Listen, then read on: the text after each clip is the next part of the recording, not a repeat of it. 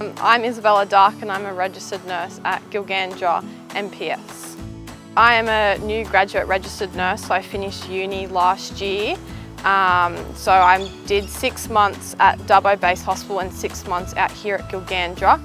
Um, so that's a supported program that we do for our first year out of uni, just so we can get our competencies marked off and learn the skills in a safer environment. I moved from Wollongong at the beginning of the year to Dubbo. Um, I really enjoyed being out in the country. It's quite relaxed, everyone's really nice.